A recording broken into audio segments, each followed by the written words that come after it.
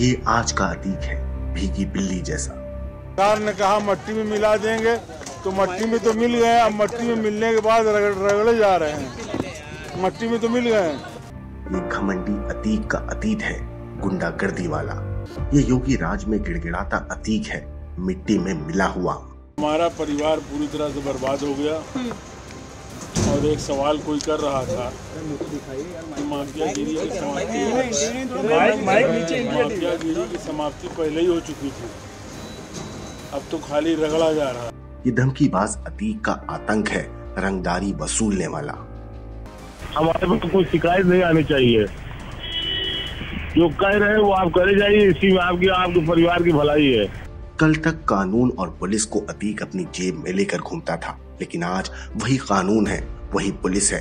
लेकिन अतीक अहमद के जुर्म का संपूर्ण साम्राज्य ध्वस्त होने की कगार पर खड़ा है। अतीक की अकड़ गायब है।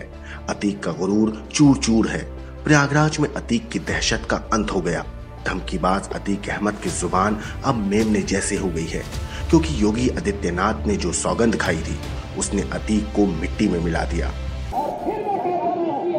इसे हाउस में कह रहे हैं इस माफिया को मिट्टी में मिला देंगे सरकार किसी है सरकार किसी है गफलत में हो ये माफिया है इनको मिट्टी में मिलाने का काम करेंगे सरकार ने कहा मट्टी में मिला देंगे तो मट्टी में तो मिल गए अब मट्टी में मिलने के बाद रगड़ रगड़े जा रहे हैं। मट्टी में तो मिल गए जो लोग पहले उत्तर प्रदेश की कानून व्यवस्था को दता बताते थे आज आप देख रहे होंगे उनके सामने स्वयं के जान के लाले पड़ रहे हैं। जब कोर्ट उन्हें सजा सुनाती है तो उनकी पैंटें भी गीली होती हुई देखती है। हम आपके ज़रिए गवर्नमेंट से कहना चाहते हैं कि बिल्कुल मट्टी में मिल गए हैं।